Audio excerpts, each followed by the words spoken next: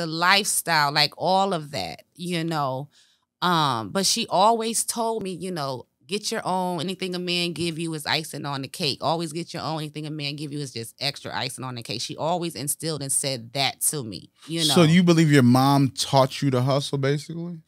Of course. What? My mother was the best booster in my town. Like everybody shot with my mother. Ask about her. So, you know, I lived it, but I also came home from school one day and the feds was sitting outside our house coming to subpoena my mother. Okay, so I seen us have it and I seen all of it go.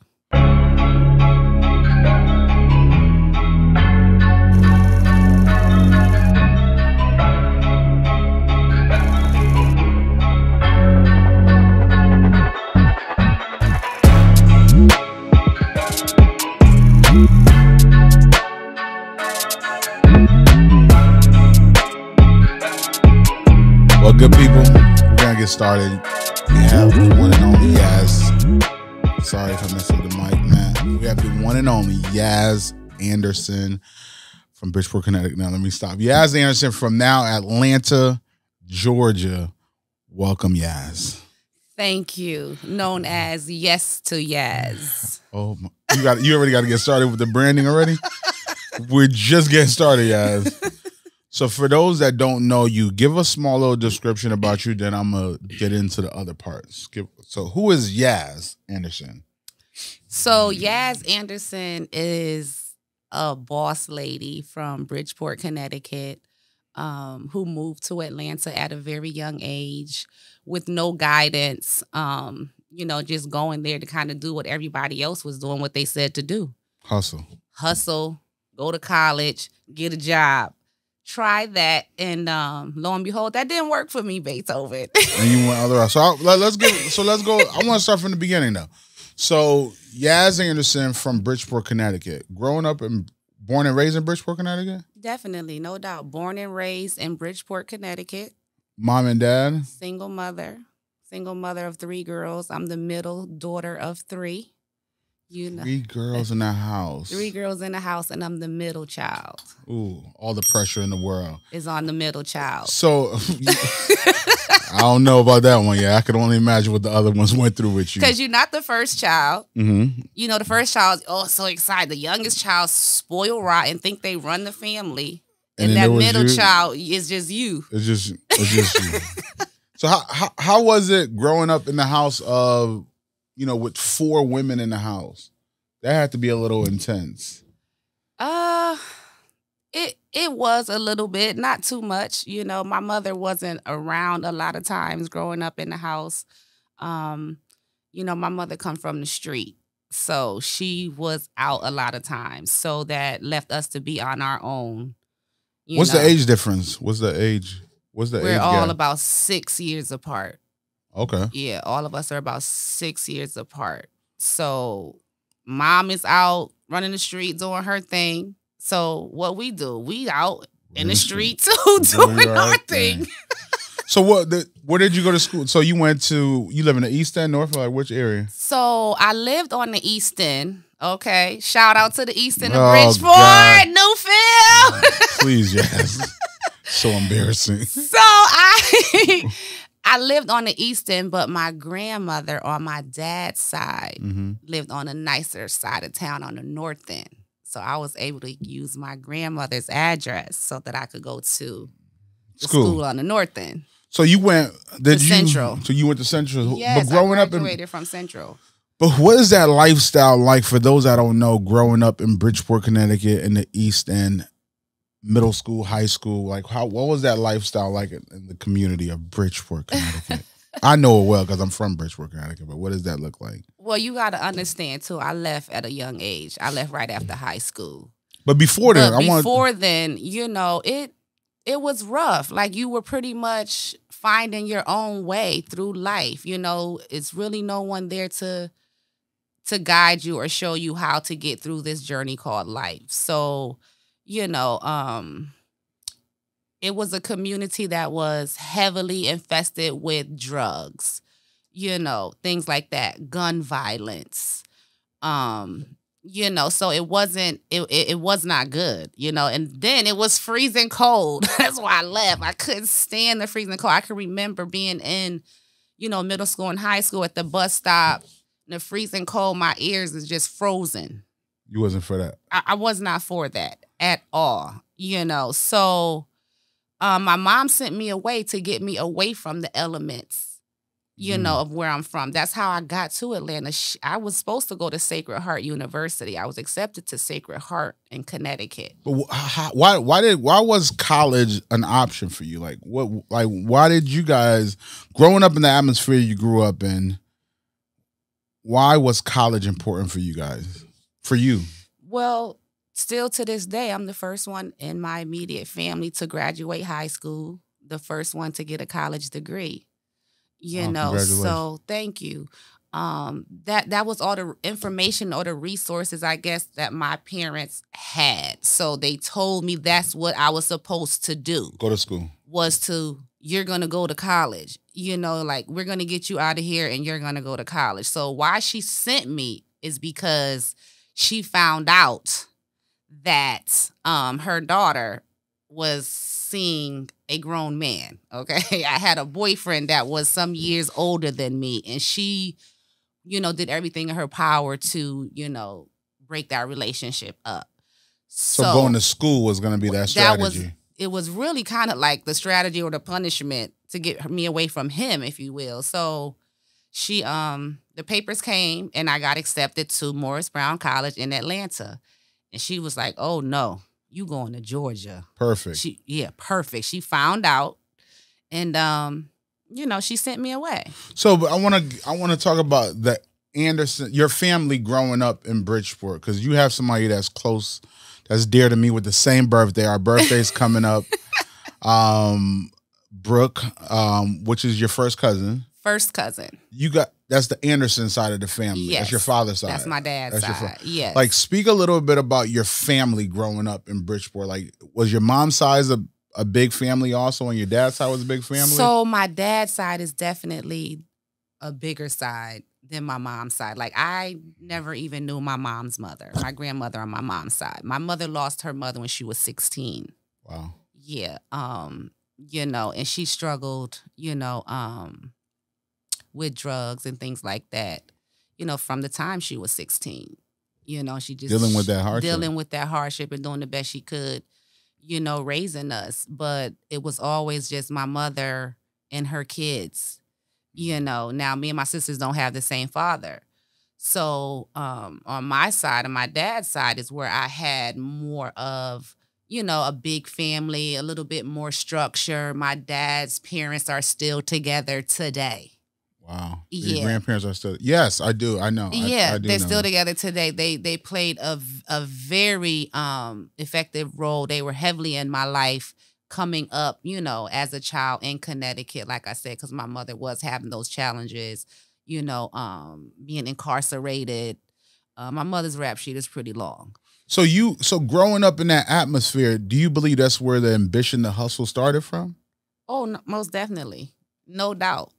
You know, and I did live in Atlanta once before when I was a child. My mother, um, significant other, you know, she was dealing with a dealer, you know, the biggest one in our neighborhood.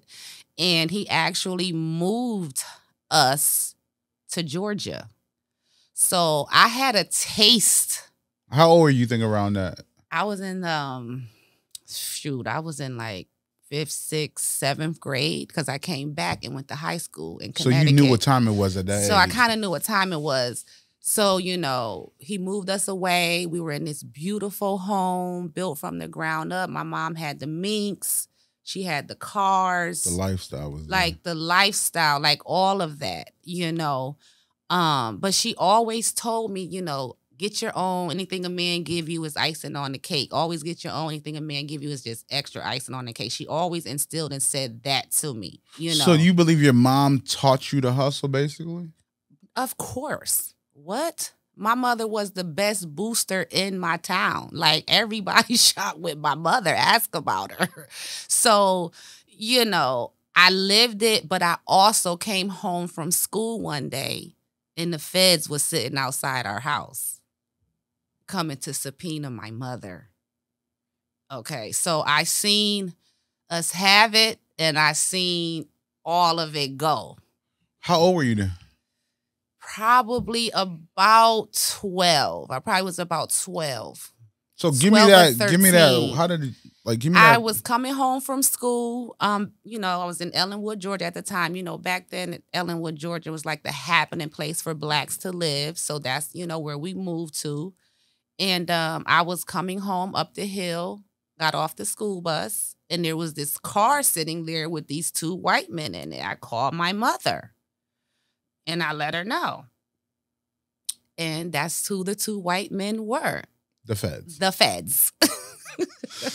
What did that change in the house? So it changed everything because now my mom has to pack up her and her kids and go right back where we came from.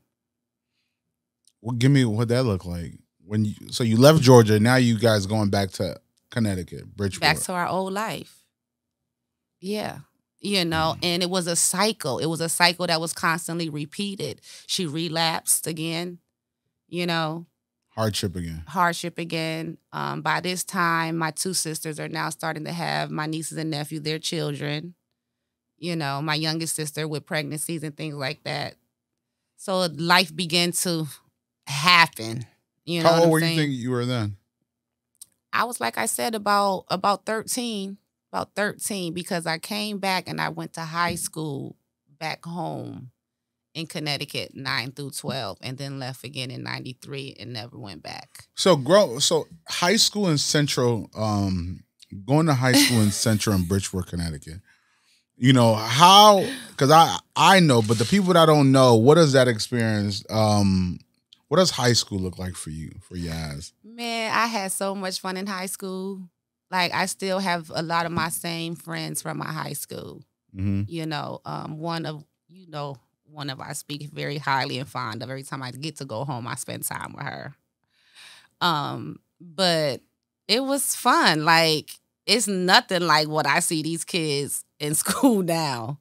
It's not the same. Did you guys? Did you do any sport or just the community overall? Just the community overall you know the connections the relationships um a lot of my friends parents were actually friends with my parents so we kind we real close i call them my cousins more than my friends you guys were so close. because we were so close you know but we had fun you know um we skipped school. You know i remember when i first learned how to drive driving my own whip to school in high school.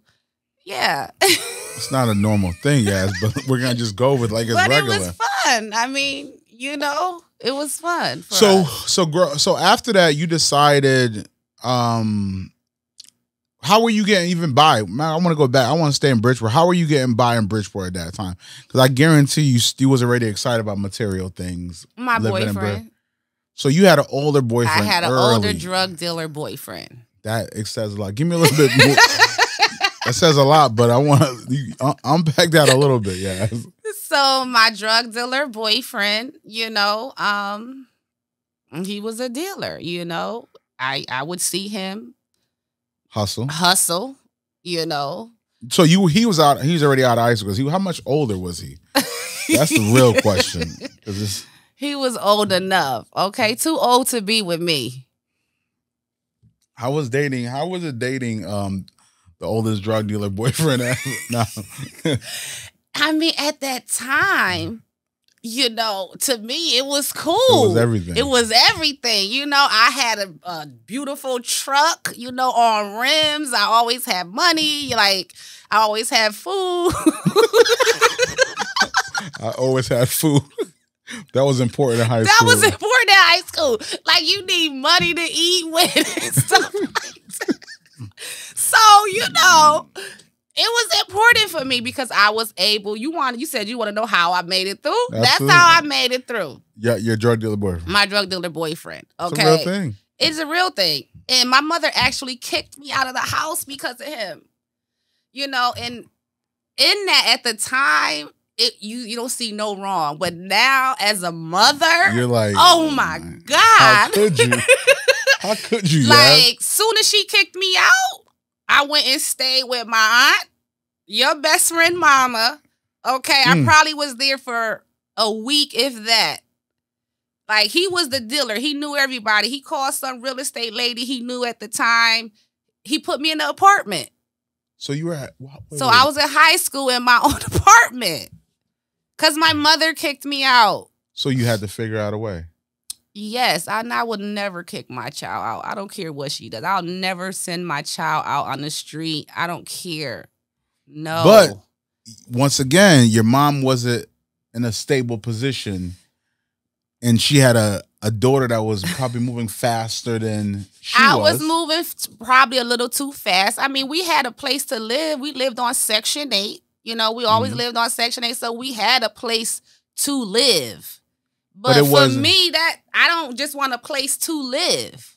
You know, I always wanted nice things, you know? Why? How? Like what? And I, you- I believe it's from the experience I went through when I was younger, you know, with the situation with her, with my mom, and seeing that lifestyle. Like, I don't open the door before when I wasn't supposed to and seeing things. Oh. Yeah. Okay. So, in my mind, that's how you make it. So you thought the streets was your first? That was your first option? Right. Because then you dated a drug dealer boyfriend, so it was like, yeah, it made all the sense in the world. so, so your mom sends you off to school. Um, how was it leaving your drug dealer boyfriend going out to school? Was he for it? Was or you guys were still together then, or He moved to Georgia. wait a minute? So your drug dealer boyfriend, because you're going to school, he decided he was moving also, or yeah, this, yikes. I don't know if you want to go into all of that. Let's go. You this sure you this is this is that? hustler's testimony. Okay, people this is really a hustler's testimony. people that So- really been through some things. Okay, so I'm I'm the little young tenderoni high school girlfriend, Brenda daughter he's messing with. Okay, he Mhm. also had a family that he was building a house for and moving to Georgia. while his so high school all girlfriend- she, all my mother did was send me right to him. Like, oh. yeah, So while you going to while your mom thinking that she's strategizing to get you out of here, I'm all, he already down here. He already got a whole He already down here, and we already hooking up down here too. So if it was just perfect for you. Exactly. And the family member she sent me to to stay with down here eventually found out and told. And then my mother found that out too. That the guy That the guy is is down here again. so after you after the whole family moved in, moved down, um, your drug dealer boyfriend and his family and you. It's a nice unit. Um, super uncomfortable. But very uncomfortable. after you guys move in, so you're in school at Morris Brown then. Correct. Morris Brown. How was that experience? Coming Oh, from man. Bridgeport. It was a culture shock. I mean, to see so many young, beautiful black people, I mean, it was amazing. Like, I was on campus with Kenny Burns and like Mm. this is the year the AUC was popping. I'm talking about 93, 94, 95, 96. Okay, so it was amazing. You know, I'm I'm partying, I'm going to clubs. I'm I'm grown, you know what I'm saying? Yeah, as you were grown um, before you went to college. I just I'm want- I on just want to remind you. You had an apartment and you were living. We at the warehouse. I'm hanging out me and Tupac. Like, what? Atlanta was the mecca of entertainment, basically. back, especially during that time. It was crazy at the AU Center. What was the? Well, I could only imagine. Yo, So, but how was school then? Was that even a? so school, remember, you know, this is what Get the closer to Mike, information please, this also. is this is what the information is that my mother had you know what she knew was to send me to school you know so that's what i did because she told me i'm supposed to go to school and get a job so that i could have a successful life that was her. That that's, That was her- that's all she knew you know she didn't finish school you know what i'm saying she was told and thought that that's the way. She wanted that for me. So I did that for her. Mm. You understand me? And I, I learned that later in life that I was doing something for her, for my mother. I was living her dream. I was, you know, going to college because she said I need to go to college and be a nurse. Okay? So it was never your passion or anything. You didn't even want to go to school. I mean, I I guess I did because that's what society tell me I'm supposed to do. But it wasn't something that was in me that that was my passion. I want to go to school and be a nurse. No.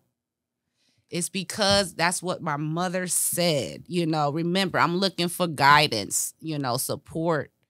You know, that was the main thing I've been looking for all my life is, blueprint. is guidance, a blueprint. Okay. So she told me to do that. So I did that. It did not work for me. Okay. So first year you're in school. How so was the first year I was in school, it was a party. It was it, it was fun Freedom. freedom. By the second year, you know, you start trying to take it a little bit more serious, but then that's when my school started having issues, you know, with their accreditation and all of that. And when Speak they lost it. Like how? so it it yo, it crushed my life, man. Like this is what I didn't I was told to do. I done went through all of this stuff, made it out of Connecticut. I'm here. And now they're telling me my school lost the nursing program. I was supposed to be in a dual degree nursing program with Vanderbilt and Morris Brown College. Okay. They lost the pro program. So by year three, that's dead. so That's dead. so the effect of that. Do you think it affected a lot of people? What That's- you say? Absolutely. Absolutely. Because it's everything that people tell you it is, it's not, you know. So I always wonder what would have happened if I stayed in Connecticut and went to Sacred Heart. I do. I really do. You know, but um one thing led to another. Now I'm down here in Atlanta, Georgia on my own. Here I am again. I got to survive. I got to eat. I gotta have so food. junior year school. So God, school dude. is school is dead. That's over with. By now, it's like, okay, girlfriend, you need a job. It's not even normal to you. Uh, So where's the drug dealer boyfriend now? Child, gone about his business. Okay. So now it's just you. Now it's just me. Okay. So I get down here. Now I need a job. Luckily, I had a skill that I learned in Connecticut in a program I was in right after high school before I moved to Atlanta, the phlebotomy program. So I learned how to be a phlebotomist. Wow. Took that test and I actually did that for 19 years. That is my career job. You know, I drew blood in a laboratory and did other laboratory stuff, you know, for about 19 years. So I ended up getting a job in the lab. You know, I had multiple jobs. I was a flight attendant, I worked at the Georgia Dome. You know, I'm just in the Atlanta. But I want to know because I know a little bit about you. nah, we're not doing this. We're not going to talk about your phlebotomist job. You also been through real things. Like I, I, I think for so another I, I think I know what you're reaching for. You reaching for that next transition that occurred in my life. You talking about when I moved to LA. so okay. you you went from Atlanta and then you Right. Atlanta was, you know, it was drying up for me.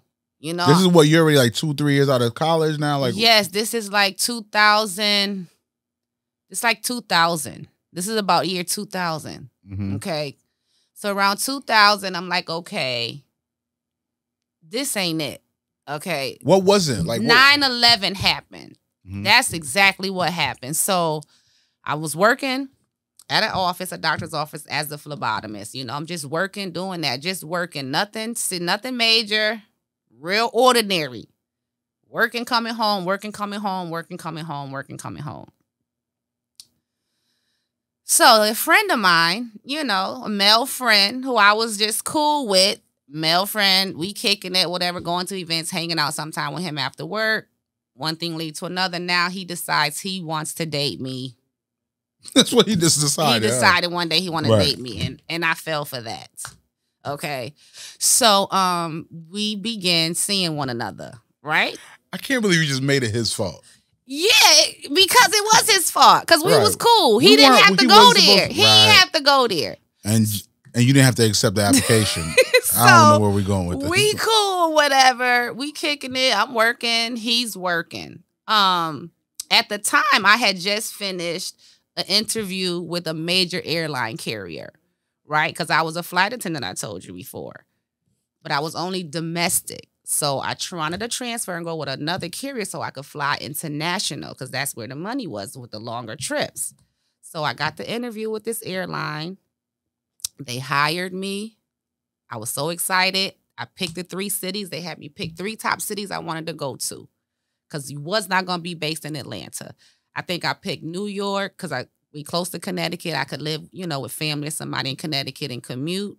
I picked Florida because, of course, I love the beach. And I think the third place I had picked was like Texas. and That's like where their hub was. So my training class was due to start that September. Okay. So September 11th happened in what? 01? Mhm. September 11th occurred. I remember I was at work in Glen Ridge and Dunwoody in the lab when it happened. Still working as a phlebotomist at that company who happens to have offices in California, right? Because I was going to try to transfer that, but they didn't off they didn't accept my transfer. So I was going to have to go out there with nothing. What made you pick Cali? I'm getting to that.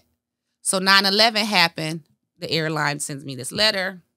They cancel my training class. So that's like the third punch in the face. Here we are again, another transition for me. Like, and this is where a, this is a major transition for me right now in life. Okay, this one choice, this one decision I made shifted my life so much. Okay, that same dude. Okay, his employer transferred him to California. Won't you come with me? Not the new guy that forced you to date him. the new guy that forced you to date him was like, "Come with me to California." Man, that man got me to LA and was whooping my ass. You understand me? Yes. Yes. Serious, serious domestic abuse situation went on. Okay. So I had to get out of that. But I felt so bad. I felt like a, another failure. You know, here I am, Mhm. something again, another failure. I can't call home. You know, they kept, they told me not to move out here. They told me not to do it.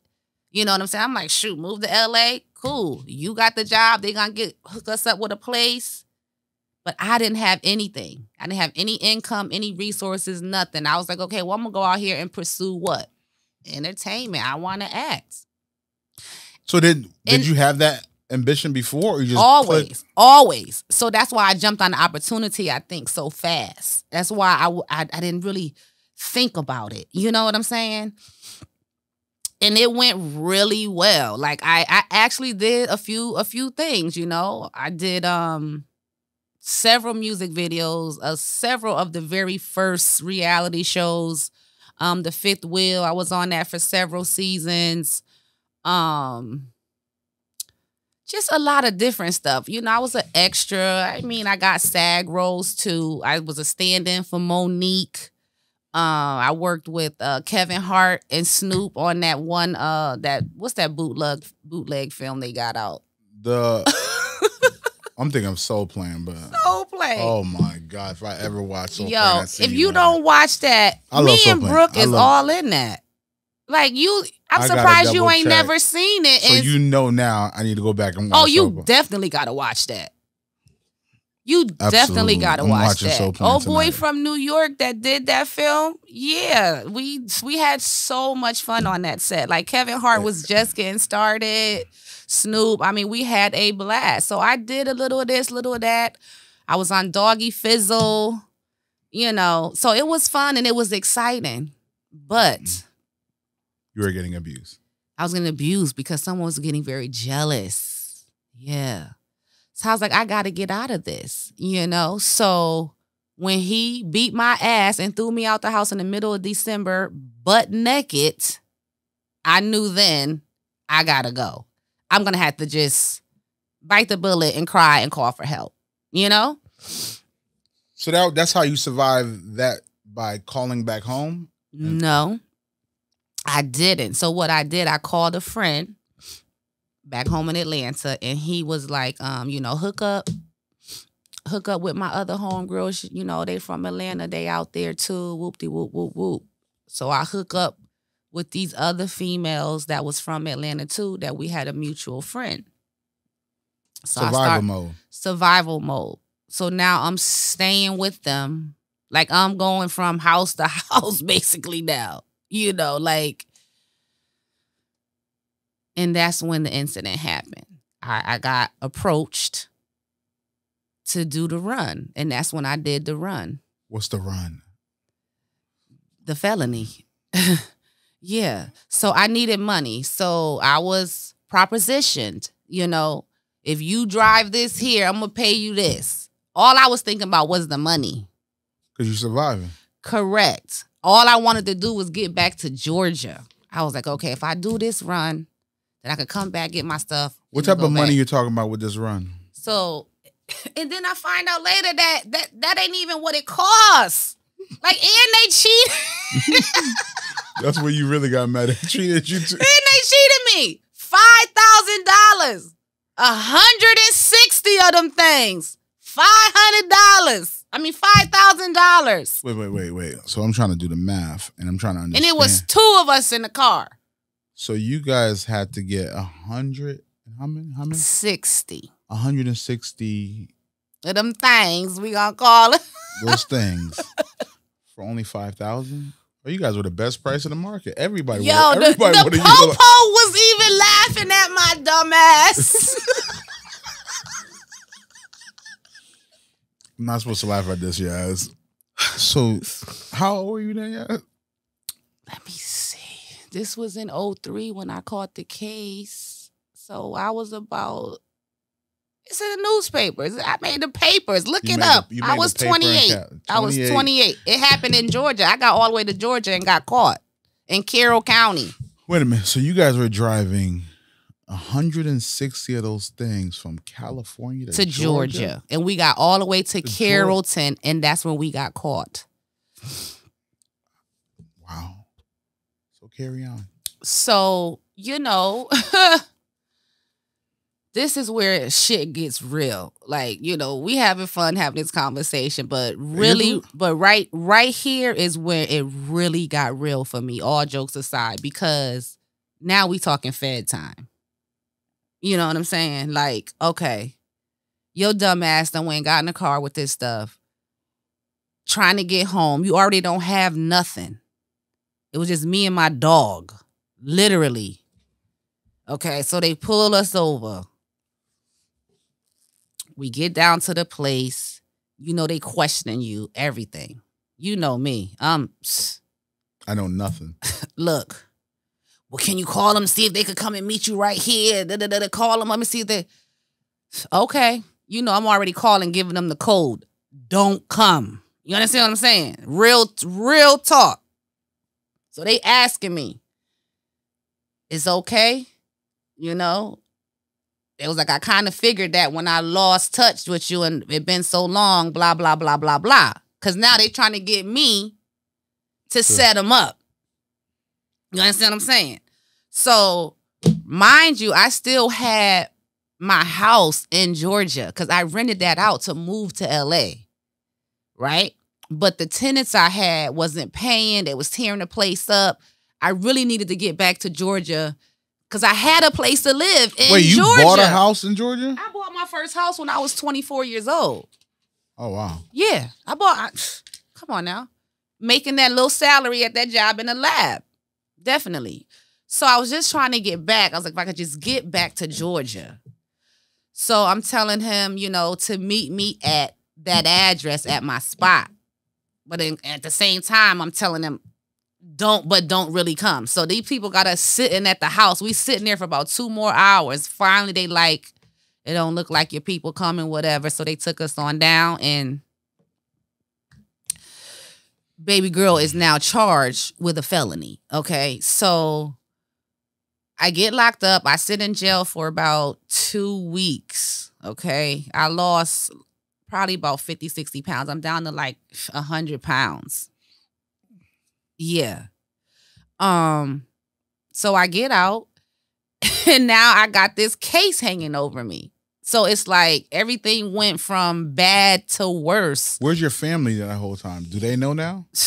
yeah, I had to call them. Like, yo, my family was devastated, crushed.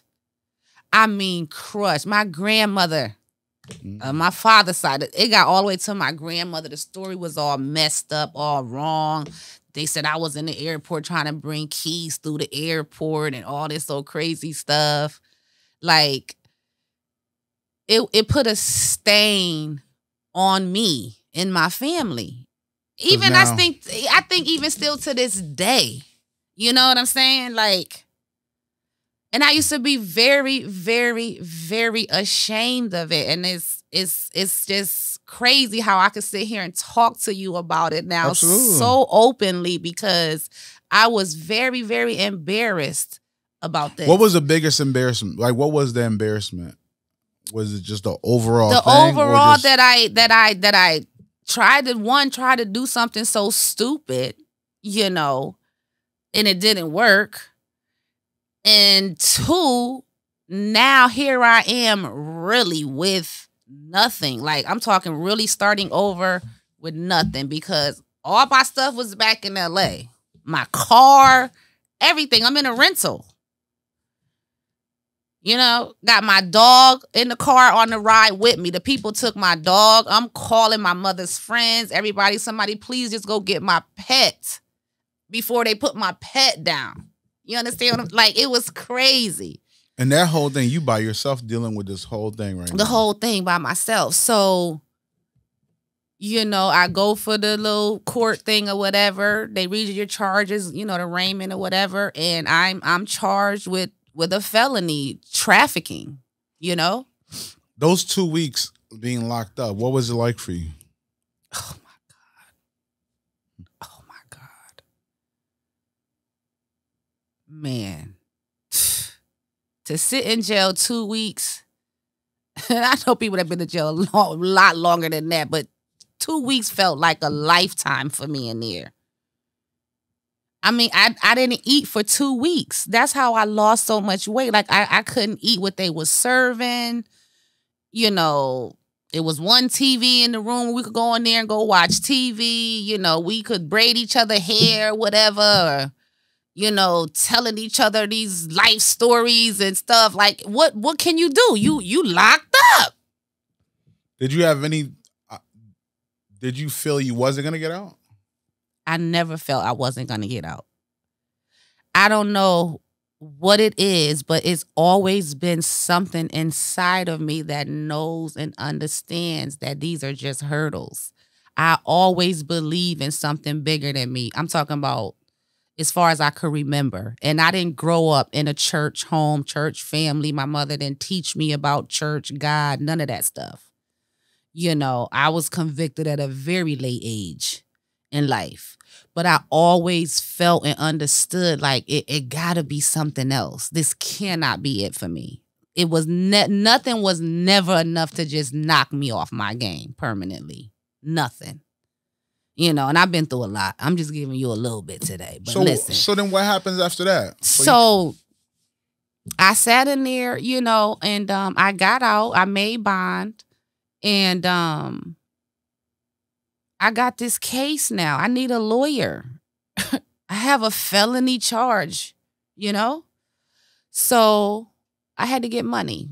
So another one of my girlfriends, um, she was from New York, who I was used to hang out with a lot at the time. She was dancing. You know, this is back when, you know, that was a popular thing. Mhm. Okay. And uh, dancing in Atlanta. in Atlanta. She's like, um, she's like, what you gonna do? You gotta get this money, you know what I'm saying? And she told me about the club she was at. Next thing I know, I go with her to the club. They they brought me in a room, told me, take your clothes off, spin around, turn around, look at me. and it's you got to get the money. they're going out there.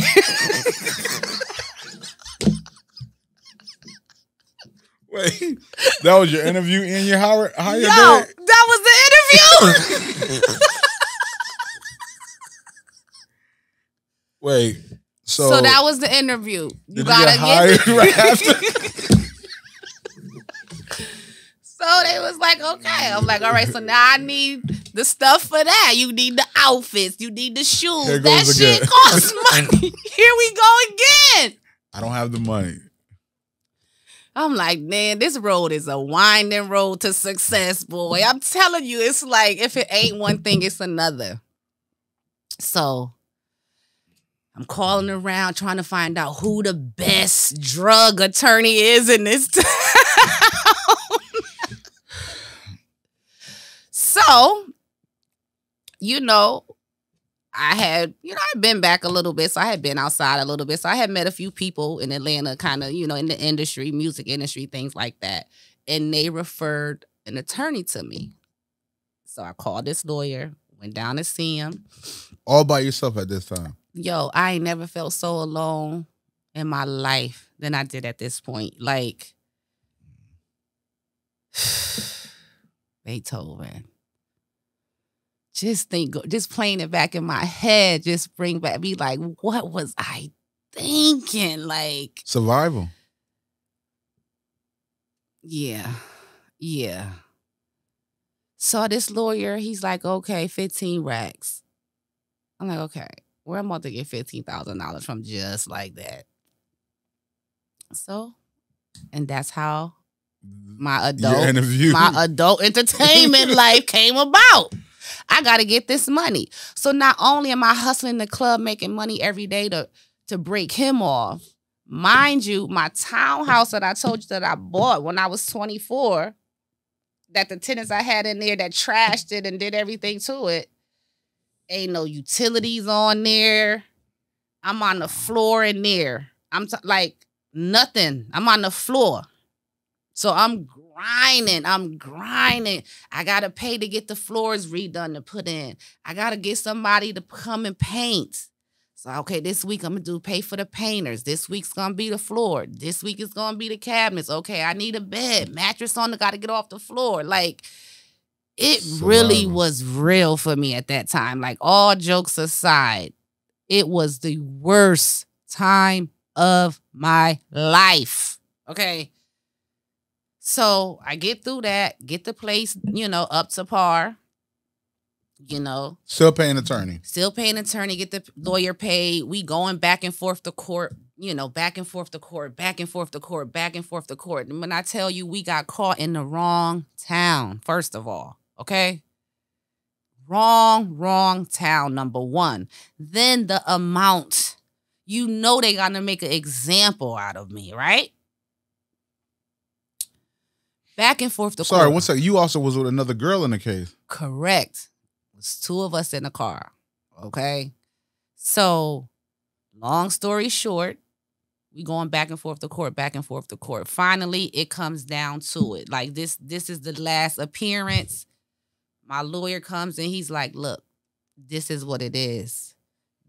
This is the best I can get you. And you know what that was? 10 years. 10 years fed time. 10 years. So you had to sit for 10 years? this is where it get good. It might have been the worst time of my life, but I'm gonna tell you right now, this is when it gets really, really good. Okay. So, you know, by now I'm telling my mother, because she's up in Connecticut, you know, mine's looking like I, I got to go sit down. Like I really was preparing myself to accept this. Mm. Like real talk. I'm like, because I'm a strong person. I've always been a strong person. I mean, even when I was younger, I've always been a strong person and can deal with just about anything. Some people they they don't understand how I deal with some stuff. They be like, especially things that I know that I can't control. I learned to not let those things weigh me down if I can't control them. You think that's from previous experience, Oh, your no traumas? doubt. Definitely. Definitely. Definitely. So I was like, I gotta just go and take these 10. You know, so the lawyer's like, you gonna we gonna just accept these 10. So they give me the date for the sentencing. Okay. Remember the girl that was with me in the car, she from Cali. I'm from LA. I mean from Atlanta. They let me out before they let her out because I had a Georgia ID. Okay. So I was able to get out and still kind of make moves, make calls, and do what I can to assist her to get her out. So here we are. Mom, you got to come down. I'm calling my mother now. She got to come down on that date because that's the day I go to court to go to prison. So my mom flies in. She's going to stay now and keep my house and keep my car and just just maintain it, keep it going until I get back. And it's like, yo, the ride down the do you know what it feels like to ride down the highway to know you going to to, to mm. court to to give yourself up for 10 years do you have any idea what that feels like yes um. it's not good right yeah not good so you know i got all my crying out my tears you know I, you know but you know me i'm like this is what it is Gotta eat it I gotta eat it. I, I, gotta eat it. This is my dumbass. This is what I did. I gotta pay for it. I have to learn something from this, obviously. When I tell you the people had us at that had us at court all day, it seemed like they had so many cases. I'm like, yo, when are they gonna get to us? You know? He keep coming in and out, in and out, in and out. Then he come out to me again. He come in and out, in and out, in and out. Is he negotiating at this point? I don't or know what he doing. They they doing something. They had to be talking about something, okay?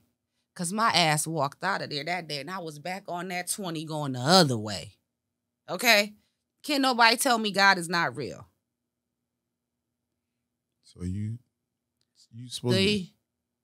they turned it from 10 years served to 10 years probation. Do you know what that feels like? What that ride felt like I going back home? now that ride seems a little different. A whole lot. I'm talking about. I couldn't call people fast enough. Okay, let me call mommy now. I, let me call. I, now, let me I call a scenario me... like that. Yes, very similar. I got yes. an AR. Go home. It was like first offense. Yeah. I was like this. I Oh my God. You talking about relief. Thank you, Jesus. He is real. all of a sudden now you can pray. now you know all the prayers at that point. Yes. So what it this is what it was though. My co-defendant was pregnant. And her lawyer, I guess, you know, was arguing the, that case. And the judge that we had that day was not trying to send her to jail pregnant. So now they do that shit now. They don't care. My lawyer, I guess that's what they was going back and forth. What was like, no, they co-defendants.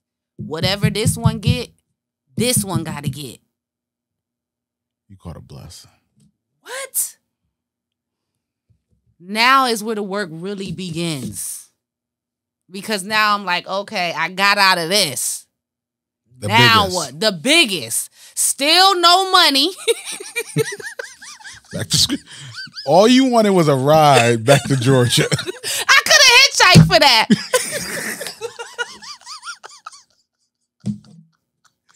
yeah, I could have picked you up. Somebody would have. I didn't. I wasn't thinking. Somebody could have. Somebody. I, I was too embarrassed. I felt like a failure. Yeah, but ten years in prison, a ride. I need a thousand dollars. The whole family would have put up twenty dollars at that to point to get me home. So what what could you tell somebody that's literally going through something like that? Is it swallowing your pride? Like definitely like, get to the mic, get back it's, to the mic. It's it's definitely swallowing your pride, guys. For real. I mean, you cannot make impulse decisions like that out of despair. You cannot do that because it will affect you in many ways way down the road. Okay? Because now here I am, a successful real estate professional because I couldn't get a real estate license because of my felony. That's how I got into real estate investing. Okay, because while I was dancing and stripping, one night I got so drunk I fell and broke my ankle. Okay, You can't make this up. I promise you, you can't make this up. I told you I need a book. so I Two books. Two books. about two books. So I broke my ankle, right? So I wait, can't on. Strip you- were- with on crutches. So were you one of those clumsy strippers? Because how you break your I broke my tibula. No insurance. I'm a stripper. No insurance. Leg broke. I'm talking about like it. I say, yo. you next level, yeah. so Wait, all I want to know is, did you try to go back to the strip club with your crushes? That's all I want. I used to go in there and hang out. Not to work, but Okay, I would I go in there, have a drink, and put my foot right up. and all my little friends, all the dancers will come around. You know, I'll come in there with somebody or whatever. We break them off. You know, yeah. The- you still was hustling. Yeah, with the cast, everything. I already know. Okay, so my friend calls me and he's like, listen, because, you know, I let him know. It's a few people that knew what I was dealing with. So my friend, who I do a lot of business with still to this day, he's a mortgage banker. But I wasn't into what I'm into now then. But he's always been in that. But Mm. he's just looking out for me, you know, real recognized real. He's like, yes. One of my clients who was an investor was looking for an assistant. He had just got rid of his last assistant. He had a big firm in Atlanta, you know, he built hundreds of houses, you know, did a lot of developments, luxury stuff, all of that. So I go down there interview with him. I gets the job. So I worked with him probably for a few years and I learned everything I could. It's like I was like a sponge. I was absorbing everything, learning everything I could from him about fixing and flipping properties and real estate investing and cash out refis. Like they were very popular back then, you know? So that start having a, a, a taste of success again. You know, I start making real money, you know, doing With this when what with ref like with with- the working with him as his assistant because now I done learned the game. I'm brokering deals with him. You, I'm a hustler, you seen it. so I seen it. Oh, you need me to find people with money that want to flip it and make more money? Oh, okay. I got it. So now I'm brokering deals with him. I'm making guap, like you know. It's like, oh, okay, I like this. you know what I'm saying? That relationship ended. Okay, he got rid of me. Here I am at another crossroads. Me being Yas and who I am. I went and got me an LLC. And I picked right up from where I left off and started doing the exact same thing he taught me, but on my own. As far as what the more like the Wholesaling properties. Wholesaling properties. Wholesaling properties. let's get into that. So once I learned that all I had to do was middleman, okay, find somebody that wants to buy this from somebody else, and I get a profit in between. This this sounds too much. This sound like the street, right? So with wholesaling, you know it. I go find an off market property that's not listed on MLS. I negotiate the lowest possible price with the seller or the owner, right? Now I got this investor over here. I got this contract. I got this house. It's worth this, but if you fix it and put this in it, it's going to be worth this. I don't already put my fee on it by the time I gave it to him. I didn't need a real estate license. Once I learned that concept, ding, ding, ding goes off in my head. So I started, you know, getting into that heavy, like really heavy. You know what I'm saying? I'm talking about making that's your best friend. We killing it, you know, making money, but still not having that financial education and not knowing what to do with Not the money. understanding money. There you go. So so you guys so basically you found out having a felony, I can't get my real estate license. Once the again, board turned me down. once again, as who you are, your trauma, your hardship, you said I gotta adjust again. I got to get it how I live. and what that meant was I'm going to find you found a way to still make money in real estate. Absolutely. That was through wholesaling. Correct. What type of money is in wholesaling? Well, a- let me, me let me just deal. say this. Let me say this. Mhm. Okay, I have an ebook. It's called Seven Steps to Wholesaling Real Estate. Okay, and We're going to put a link on that on the web on your on your on this show. and I put a lot of the information in there on how to do it, and I actually show the receipts. Okay, the HUD settlement statements and copies of the contract and a copy of my most recent check stub from my last job. I have done more than once in one transaction my entire annual salary from my most recent job in one wholesale deal multiple times. Okay. But again, with no guidance and no real financial literacy where we come from, we like to just look like the money. So I got the money. So I'm wearing the money. So I look like the money. But I'm not really changing anything. You know, I'm not investing. The money's not growing. I'm still just hustling, right? So fast forward to today.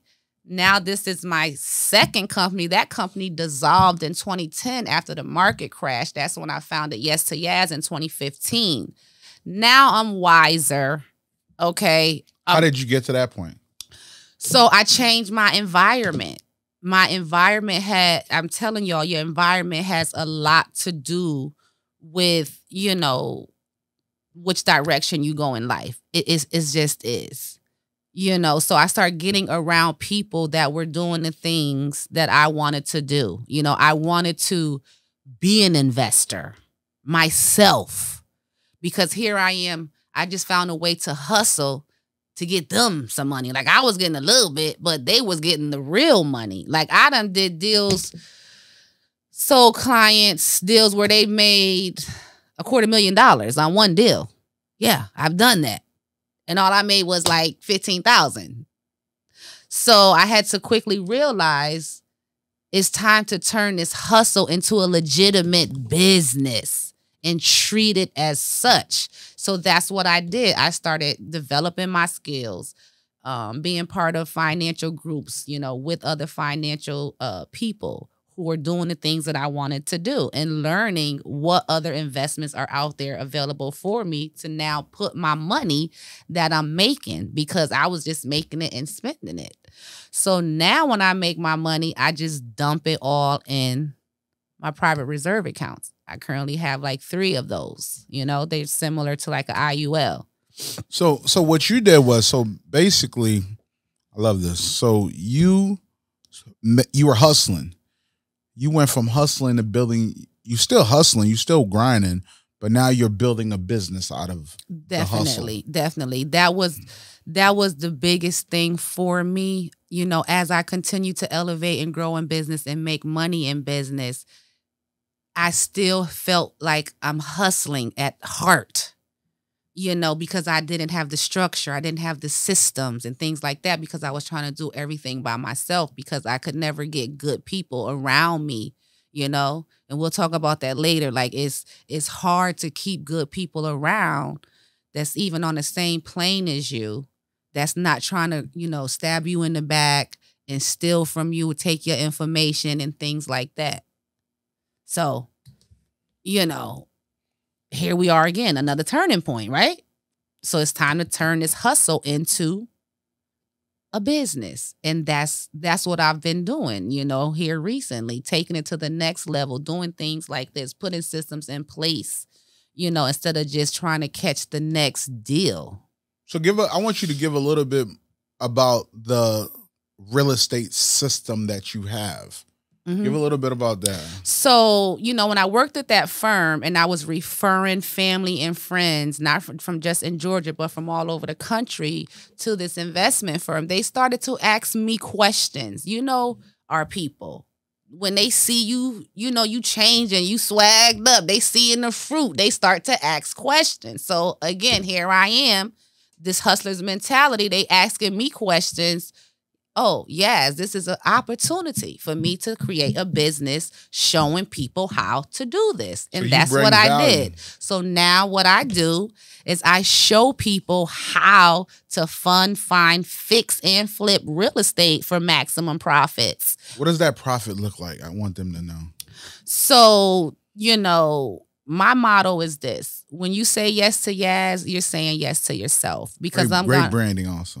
thank you. Because I'm gonna put you in a deal where you're going to get a minimum of a hundred plus percent return on your initial investment. So, you know, a lot of, of others um, systems and programs and things are like that out here, but they're only guaranteeing the investors like, you know, 50 or 40% return on their money. Well, when you do a deal with Yas, you're going to get a 100% return on your money. That means you're going to double your money. So if I put you in a deal where you need to put down 40,000, expect to get 80,000 back. How and why? How? How? Because if you have 40,000 to invest, I'm going to go and find you a property that has profit margins and a spread to where you can make $80,000. So is the is going back to the hustling where you're hustling, looking for these properties to fit the investors. You can call it a hustle, but I mean it's a legitimate business. No, no, Um, yeah. Let me let me be it's- clear. It's it's a hustle still in a sense, but it is a strategy that has That you've been successful. that. I've been ver- and than anything I've ever done in my life. This is my my This is it. meat, you know. So it is what it is. It's been going on for generations. You know, I think it's like one or two states where wholesaling is is not allowed, where you cannot, you know, do that. Because all it is is me putting a property on contract and selling the contract. I'm not, I don't own a house. I'm not selling a house. I just put this house on contract for one price and I'm about to sell the contract to you at a markup. It ain't no different than in being in the street where you go get one of them things, you put something on it, and then you go sell it to somebody else. It's no different. But what? But you have a very unique thing also with your business where you actually help develop the property also. Absolutely. Yeah. Speak So a bit lot of my that. a lot of my clients are not local. And when I say that they're not in Georgia. So my deals are in Georgia where I can be the boots on the ground and really make sure that you are successful in this from beginning to end. So, you know, they need someone there. Speak on that process. What does that process look like?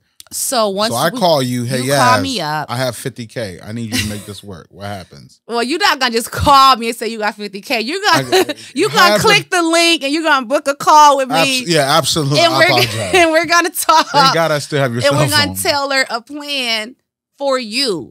That's what profit from property is. It's the exclusivity what my clients like because I'm tailoring a plan for you. It's not a cookie cutter type of thing. Mm, that's a game changer. You understand? So when I work with you, you might have an 850 credit score and 40,000. This person might have, I don't know, a 600 credit score and 60,000. So it's it just it's going to be tailored to you.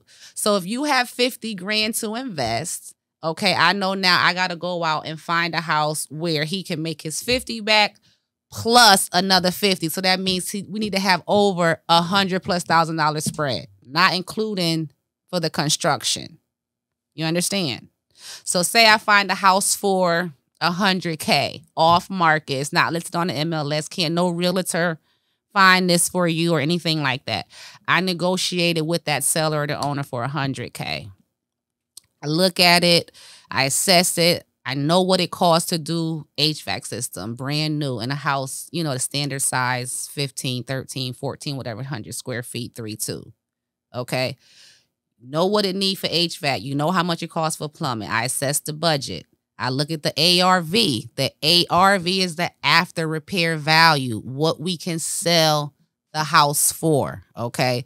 So if the house I found is 100, the budget is 50 okay the house needs to appraise for at least 350 or higher so if the comps are not saying that then that's not the deal that's going to make you double your money so that's not wouldn't be the one so you're guiding me so through that i'm whole doing thing. all exactly and that's where people get mixed up because they don't understand the numbers you know and how the numbers work and how much of their money they're going to need and how much of the bank's money are they going to put up. So that's where I come in to help you and to make you understand how we're going to do it, how much you can get, and how much you're going to need, and basically what the pro- property is worth and what we can sell it for. So you're managing the actual business. Mm-hmm. You're managing the construction also. You're managing Project the manager. whole project. Mm-hmm. So wow, so fifty thousand investment. You find me the right property. You manage the property. You manage the process Project. of Yep. the project. Um, am I selling it, holding it, flipping it, or you? So that depends, you know, on on the investor. You know, when they come in, are they looking to flip to make more money to get more capital, or are they looking for something long term? You know, do you need short term money or you want long term? Okay, long term is buy and hold. That's that passive residual income. You want you thinking about the future. So most of those investors have already done a few flips. You know, they they capital is where it They're should cash be. strong. They're now they cash strong. Now they want to park some money, you know, and have a few rentals. You know, they got money if things come up. That's why I always tell my clients as your first investment, you know, get you some capital, do a fix and flip. Unless you're going to do a buy and hold and it's more than one door. But don't do a single family first if you don't have no money, not as a buy and hold. So very few people will be honest about that that I've met. Yeah. Like, we'll get calls all day long to buy that one property. Like, if, like say if I was just coming into it, hey, buy this one property, flip it. Now you're stuck with, you know. yeah. So you giving that guidance, giving that support to say, hey, this is a process, this is a strategy. You could do it. So when it comes to, um, like, why is real estate so important? because it's like the number one way to build wealth in our country. You know, I mean, it's it, it's a it's a profitable asset that in most cases continuously gains. It grows in value. You know, if you take care of it properly, you know what I'm saying? Um, pay it off in full. it's a, it's a great investment. Because the, the asset cons consistently grow. Exactly. Exactly. You know, it's not as risky as some of these other investments, you know, a lot of people are into, you know? Speak a little bit more about some of the success that you've had in real estate from servicing clients and yourself. So, you know, I'm very, very proud of myself, you know, where I've taken the business now um, with real estate and just the whole financial services as a whole.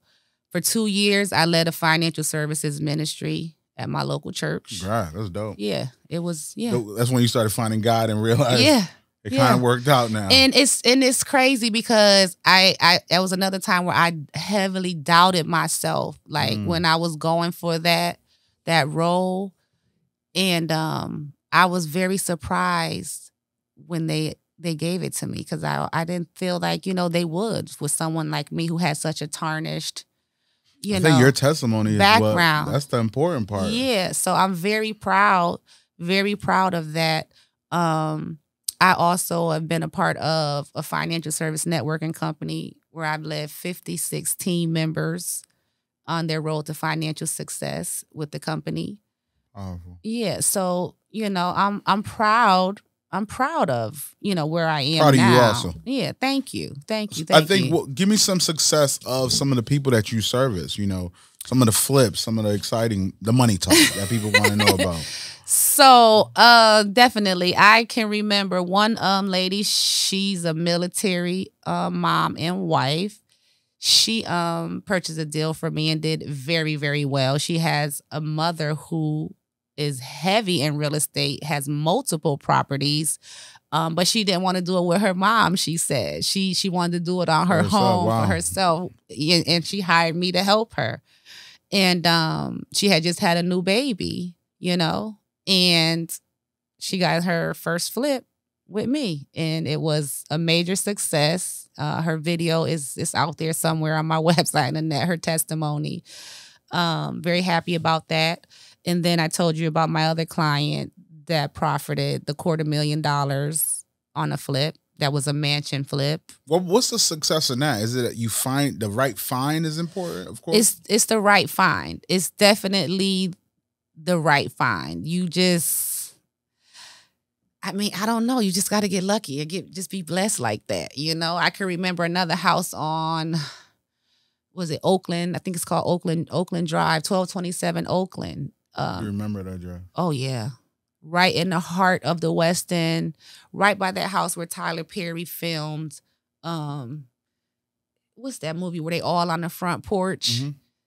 So that house there, I was just driving one day, you know, because I like to drive around and find my houses. You know, I get the whole, you know, the, the apps and all of that. But when you're buying lists and, and using apps and stuff and buying lists, how many people done bought that list? You know, so I like to still kind of drive around, knock on doors. They say it's not that safe or whatever, but hey, I'm You- out. You, have been through some things. Yeah, you know, so- it's not what you're yeah, I'm about. riding through the West End and I see this man, you know, he outside painting the windows on this house. Painting the window. Yeah, so I'm I stopped because I wanted to ask him, do you know the owner? I'm thinking he's painting, doing some work for the owner. Mhm. He was the owner. So I think I want to, but I want to say there's something very special about what you just said because you're saying luck, but I think luck meets um hustle. Yeah, if I'm you're not grinding, you're not putting in that work, luck don't happen. that's and I'm a firm believer that if you doing something, it's nothing that can tell me different that you gonna find what you looking for. I believe that, okay? Because I went riding that day, and that man was the owner not only of that house, but several in the neighborhood. I got the contract right then there on the hood of my car. And I flipped that contract so fast. I made $34,000 that day. okay. Different type of hustle. Yeah, just from driving around in my car. Another time, I'm just walking in my neighborhood. I like to go for walks in the morning just to keep my mind in the, you know, Absolutely. I like to get up and go for a walk in the morning. That's something I really, really enjoy doing. So this day I'm walking through my neighborhood. Um, my my subdivision is fairly new. You know, it's going on maybe like three years old. So they were still building homes in my subdivision even after ours was built. So this house that I would walk by and see every day while I go walking, you know, watching the progress, seeing it get built. You know, you go in there and look and all of that stuff. Of course, you're going in there. Of course, you know. So one day I walk by it and I see this man in the driveway and and getting out of his car. So I'm, hey, welcome to the neighborhood. The friendly neighbor. yeah, I'm thinking is my friendly neighbor. I was like, oh, you bought this? You know, you he's like, yeah, I bought this. But he wasn't buying it to move in. He's flipping. No, he bought it to put a tenant in it. He was an investor. Okay, he was a big investor. He was like, "No, I'm buying. I'm buying this. Um, you know, we're gonna rent it out. Him and his partner." I was like, "Oh, really?" I was like, "How- "Is that what you do?" Yeah, me and my partner, so and so, so and so. I was like, "Oh, that's what I do. I find off market deals. I wholesale." He's like, "Oh, he's always looking for wholesale property." Ding, ding, ding, He ding. was a hedge fund buyer. I could only imagine the Yas that I know when you. Yo, Beethoven.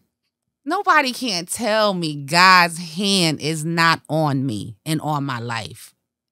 I believe that. I know that it is. Okay. I'm just minding my business walking. Why I went walking that day and he had to be there at that moment where I was walking at that part of the subdivision. It's only right. But let me tell you how how I played myself, how I let the enemy play me. Okay. Mhm. Soon as you start feeling yourself a little bit, don't think that enemy ain't there lurking. You know? I still got the piece of paper where the man wrote it on his yellow script pad, his name, phone number, and email. You know how long the paper sat on my desk before I made the phone call? Slipping. Yeah, I, Yo, I couldn't believe it. I, you I got too comfortable. I couldn't believe it. It took me. I tell my business partner this story too. It took me about a week or so before I even got the nerve. Cause he gave me the number to call the partner, because the partner was the one to, you know, to call, to talk, to do the Mhm. talking with. But I seen and met him, Gave you the plug. and he was white. Mm, you create all type of nonsense in your head. all type of nonsense in my head. Call the man. Was it the The intimidation? man, the partner is black. The partner bought a deal from me like within the next week. I mean, it was easy as one, two, three. When I say easy, when I say I ain't never even met the partner face to face to this day. Speaker, speaker, I want you to talk about that because I know so many people that go through this process. So this whole identity of was it fear of the white man doing business with him? Was it I was afraid of the rejection. I was afraid of the rejection, thinking I wouldn't know what to say, how to have the conversation with them. Like, he just wants a deal? and all he wanted was a deal, and I got him a deal. I got him a deal.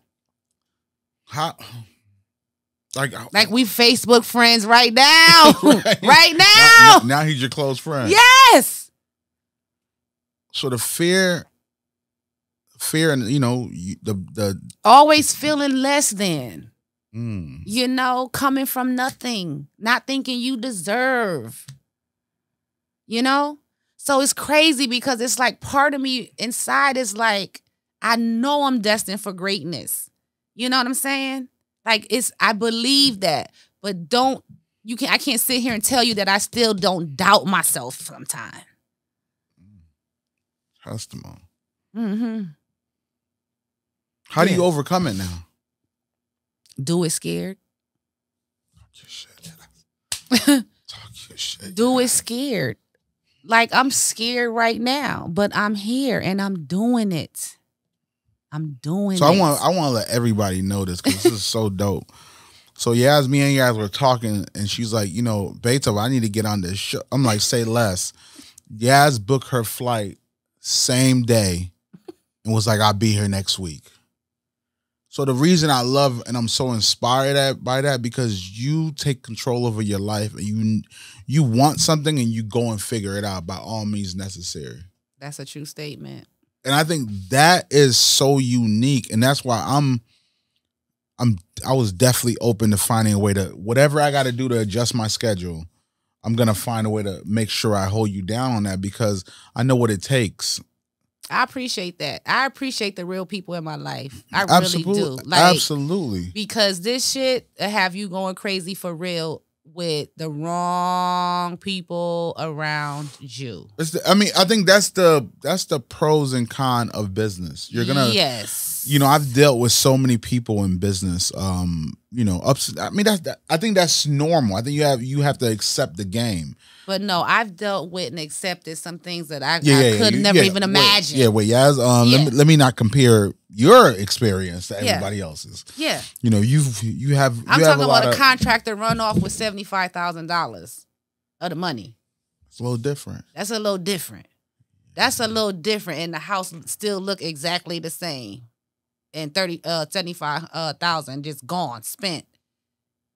So it was a lot I had to go through to to to get the processes and systems that I have now. Like I have amazing. You pay for a lot of Yeah, I have amazing team now. Let me give credit to my team. Shout out to my team. Like the people I work with now, my contractors, you know, other colleagues and other wholesalers that I work with, other investors. I wouldn't change nothing what it took to get to to these people. You know. I mean, my client from Central Florida called me yesterday, like, yes, this is the quickest flip I ever did. He's like, and this is his third house he's buying from me. Okay. And he's telling me this one is the quickest flip he ever had. That's how bomb the team is I got down. I'm like, yo, tell them to slow down.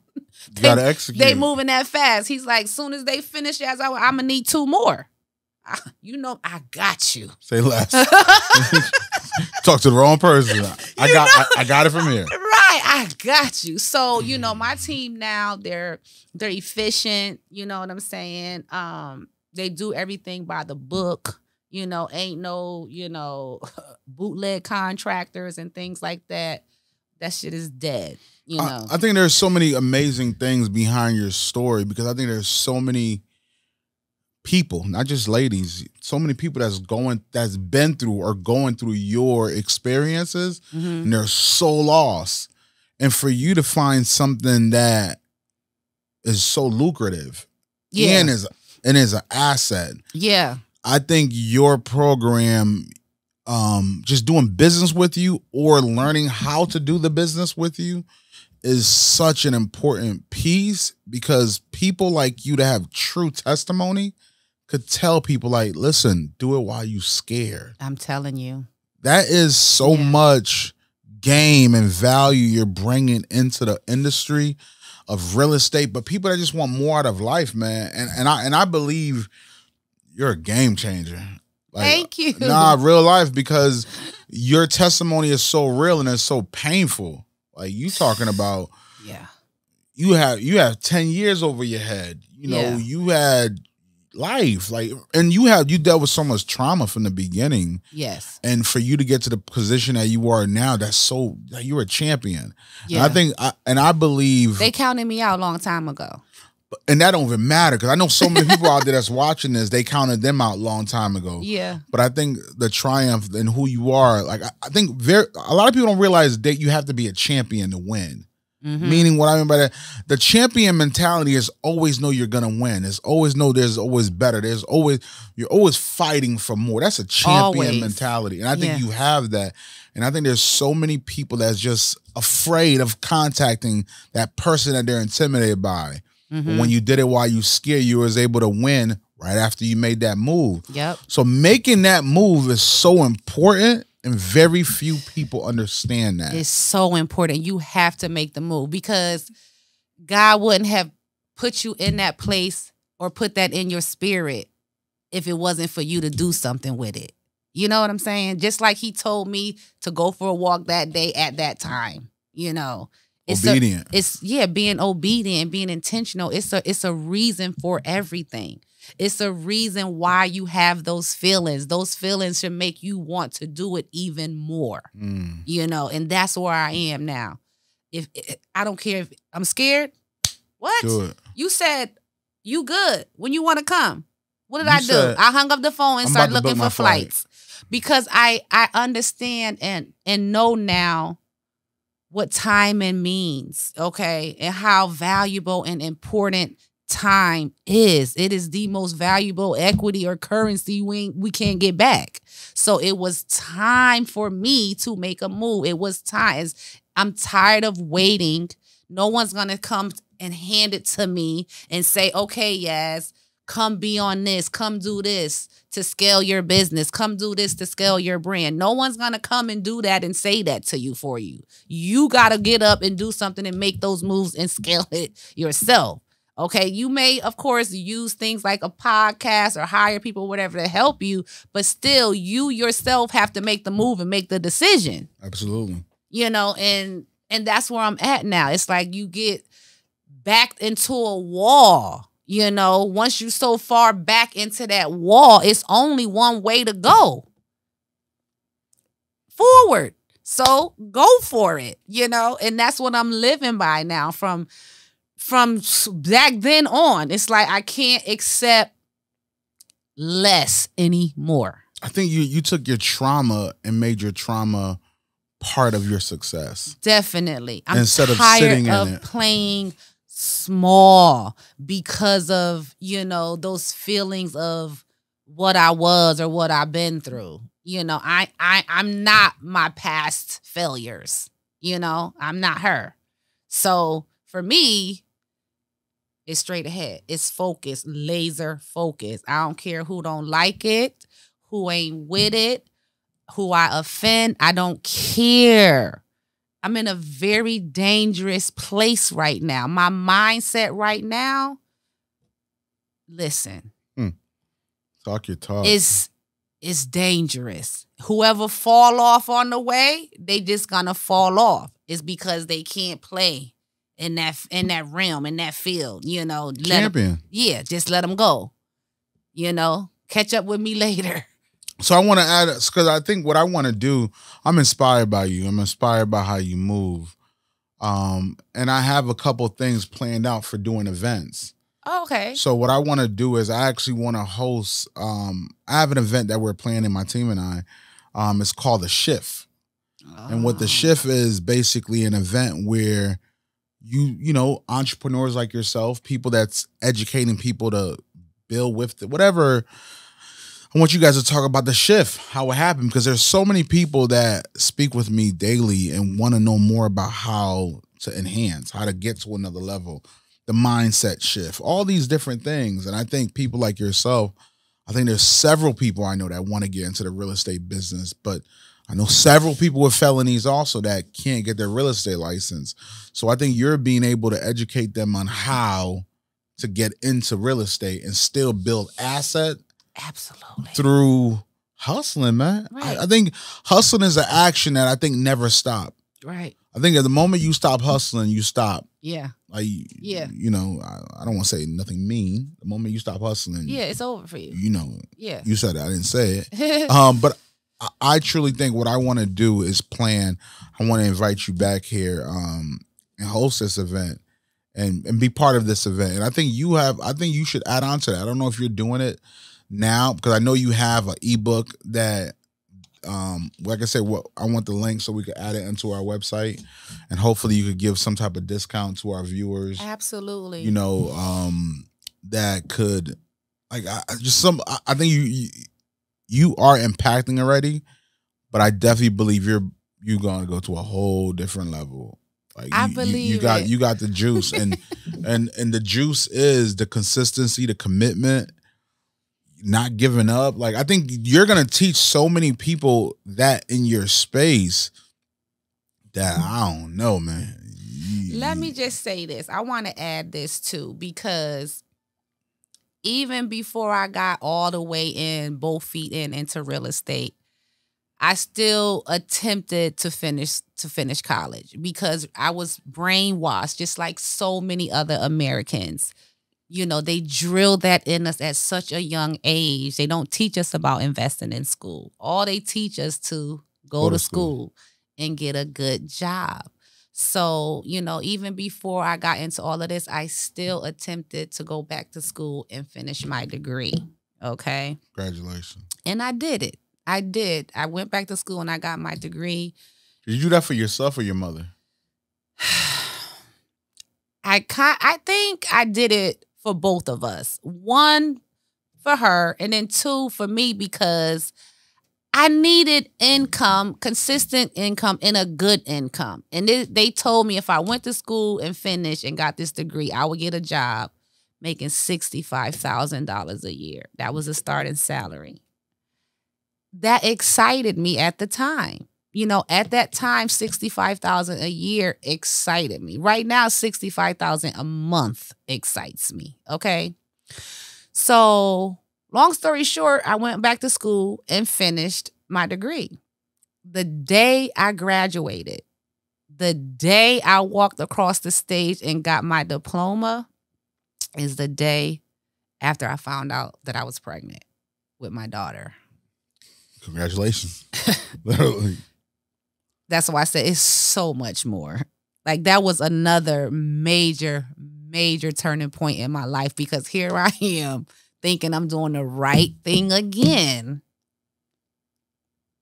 Okay. And now I'm pregnant. So, you know, the internships I had lined up that I was gonna get on and get a, get on with a job with them at the practice and all of that, all that was out the window now. Like it was an awful pregnancy. I was sick. I mean, like I was, oh my God. Like it was not good. I am not strong when it comes to that. That's not your thing. that ain't huh? my thing. Right. Like, oh my God. So I needed now a job. I'm like, now, now what? Okay. So what do I do? I gotta get a job. So I go in the papers, I look online, they're hiring at this place. My old supervisor, she my friend on Facebook too. she know the story now. I interviewed with her. She didn't even know I was pregnant in the interview. I went to mm-hmm. Walmart, bought me a big old size 12 mm-hmm. blazer, Oh, pants, everything. I'm like, I gotta go get a job. Like, I, I'm gonna have to go get a job. Like, I can't believe this. I gotta go get a job. You know what I'm saying? so I go do the interview or whatever. I'm sitting in the waiting room, Beethoven, to go back for the interview.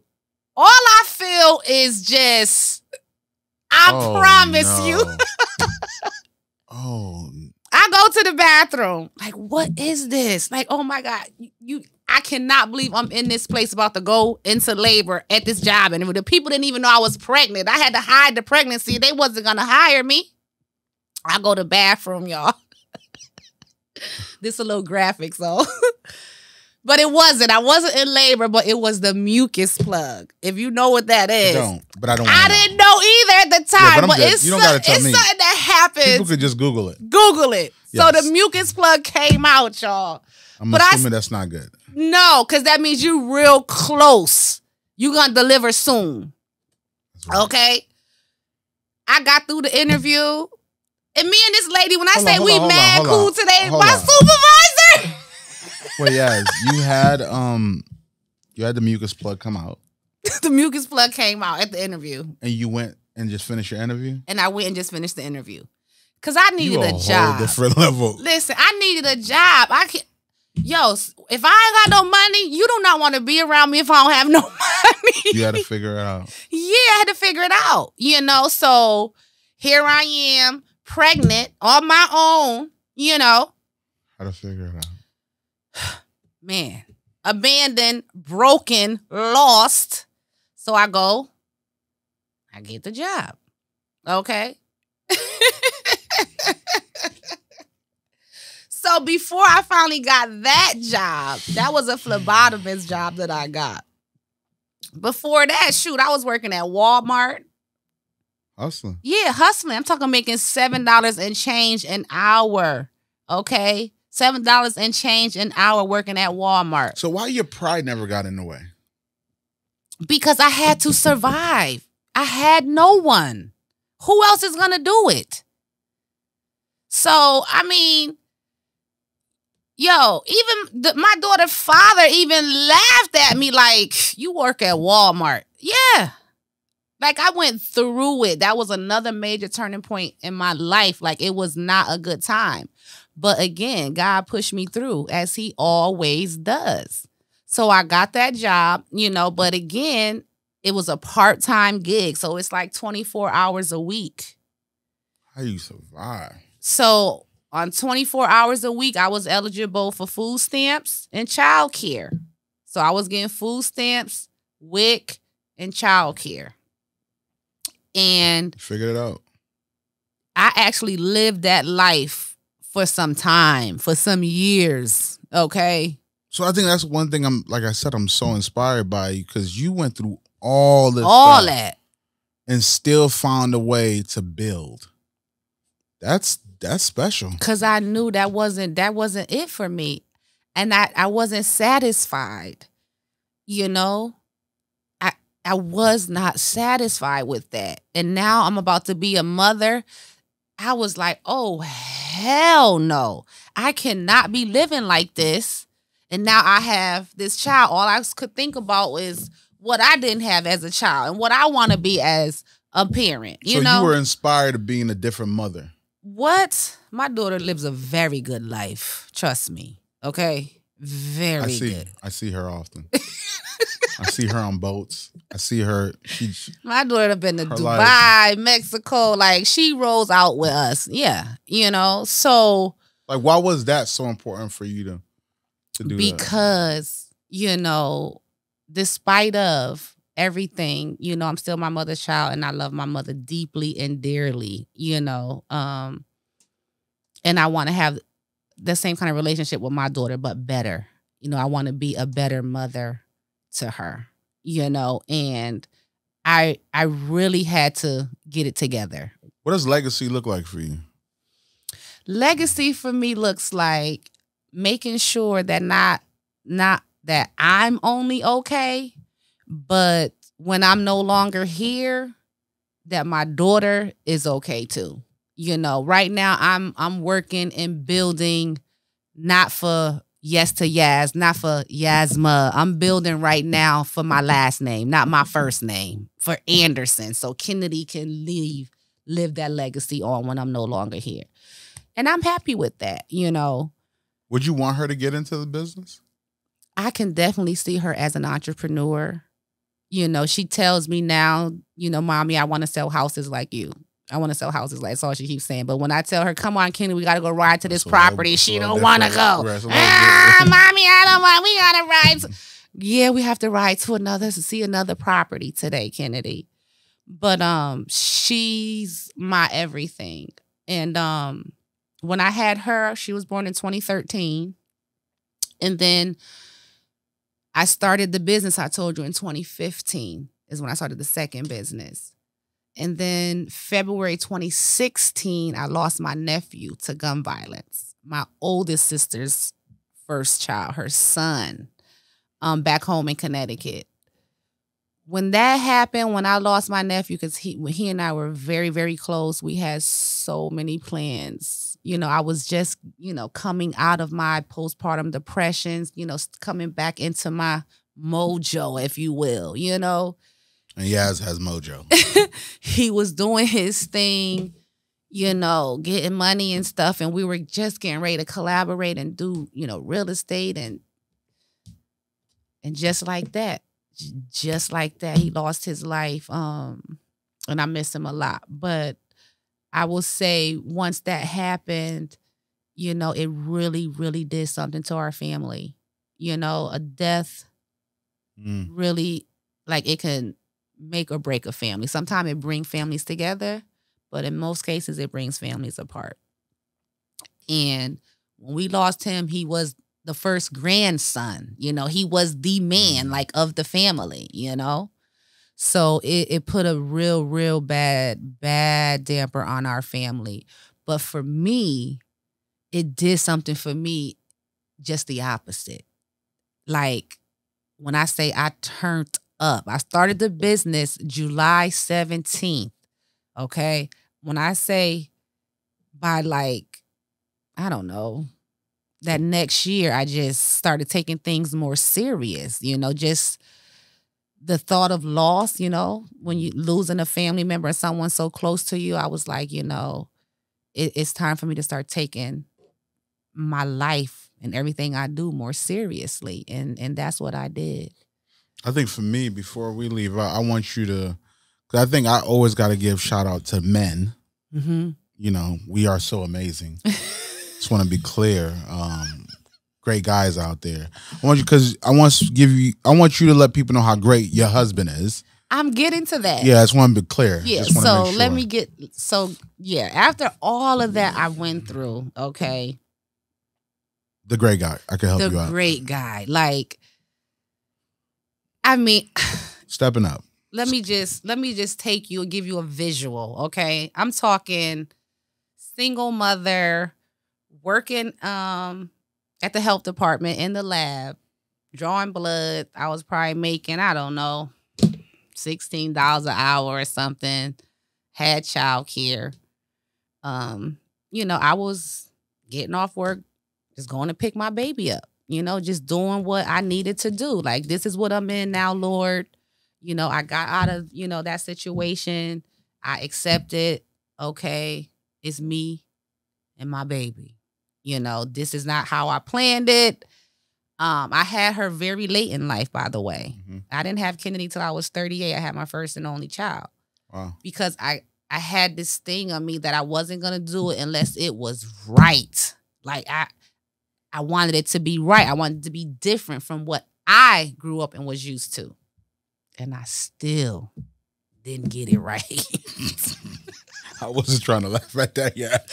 I still, Gosh, I I still didn't get it right. So, you know, I'm going taking my baby to the to the sitter, picking her up, going to work and picking her up, just going through life. Like, Lord, this is it. You know, this was probably another bad time, you know, one of the worst times for me in my life because I'm I'm just getting by with barely nothing. You know what I'm Surviving. saying? Yeah, I'm just I'm just surviving. And um one day I'm picking her up from the sitter and this guy, he just this is he- this is getting good. yeah, he, this guy, he just he asking the other people there, who am I? Who's that lady? Who's that? Who's that? Who's that? Who's that? You know, I, although I had a little part time gig and I was getting WIC, I still was uh, we- fly. We, know you were I still was in my own Lexus, had my own home. let's right. let's you know, let's just keep it 100 here. You know, Right. he's still looking and checking for me like, okay, she got You, a you little didn't miss nothing. Yeah, she got a little something going on. Could you go back to how great he is? How we get back So- to you? They was like introducing me to him, and I'm like, yeah, hey. I'm like, okay. And I get in my car and I pulls off and keep it pushing. This happened for about a week or more. Like he would see me Smart man. picking my keep picking my daughter up. He just- just kept trying. When you gonna give me when you gonna give me your phone number? When you gonna give me your phone number? That's how you said it. It wasn't. It wasn't normal. It wasn't. the husband, first of all, he's from Alabama. So yeah, yeah, he's like, It was a little different. it was different. And I I looked him dead in his face and I said, You ain't ready for this.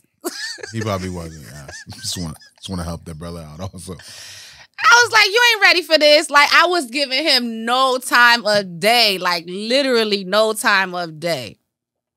Man, he was over there one day. I was front of daycare. I was picking the baby up. He caught me on one of them days. got him. got him. he caught me on one of those days. I gave him my phone number, whatever. Well, you at that point, you like, man, all right, you got me. I'm like, okay.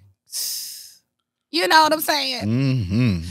And the lady that used to keep my daughter, she would tell me because I worked part time from like 11 to 2 or 11 to Right. 3 or something like that. You know, she would be like, yes, you know, you don't got to come get her right right when you get off. Like they pay for her to be here so you can go home for a little a bit, little bit. and then come. Nah, B, I'm coming to get my baby. Being my my baby. we going home. Right. You know what I'm saying? Because this is what I'm on. Like I, by now, I ain't got time for no games. Leave me alone. Okay, I'm a single mama by myself with this baby. Got to make shit work the best way I know how. Leave me alone, You right? don't want no game. I ain't had no time. Long story short, I give him the phone number. Got him. Got me. He calling me, calling me. Next thing I know, he want to take me out.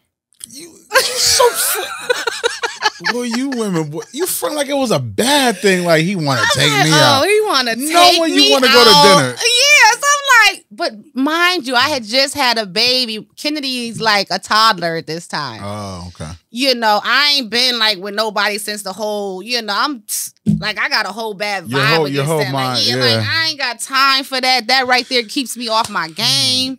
Like, leave me alone, you know.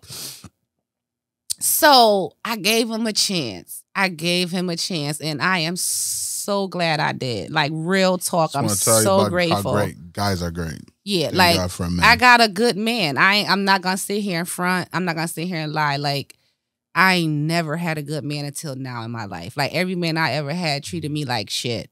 You know. but, he stepped up. He yes, he stepped up. He's like he ain't nothing like nothing I ever dated before. You know, and he stepped up and he became that role model, you Mm. know, in our house. And here we are now, 9 years later. That's beautiful. I think the so him the support in the business, the support in the house. What support? He definitely is all for me going after what I want for this business. You know, he's like, Sure. that's what you want to do. Go ahead, you know, do that. Um, you know, I just want to make sure that you gave, you know, because I know how important great guys are to the world, and yeah. I mean, you're a good guy too. The greatest. Yeah, you're you're a good guy. Like you're sure a really on- good guy. I want to Definitely. keep on making great guys. You know how we Yeah. just come together. Just want to make sure we give shout out. No, but um, yeah, but I wouldn't change. I wouldn't change. You know, you know, change it for the world. Like he's he's beyond great. He's a great role model and father to my daughter, our daughter, he's very um hardworking, That's God God fearing. He's faithful. That's important. Um, you know, we don't have those infidelity situations going on and Black arguments and yeah, black men don't cheat. We don't go through Mm, that. right. Just to very sure. considerate.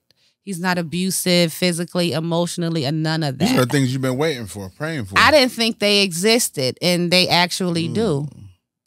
They actually do. And I will say this, it was hard for me, you know, because being someone like myself coming from all the things I've been through and to have to have a man now, what we, we we- what we can say is a man, that's different. That's different. It's really different. So it was definitely an adjustment for me um and me to take some getting used to because he literally caters to me and Kennedy. He literally is doing everything every day for our best interest, you know. Powerful. Is very powerful. So I'm very grateful and very thankful for him and to have the support because to do this and to do what we're doing and to not have a supportive partner. That unit is important. Ooh, ooh, It's different. is yeah, yeah. So if you had to, you know, while we wrapping up, if you had to give anyone or group of people any game on progressing and going to another level, what would that secret or that game be?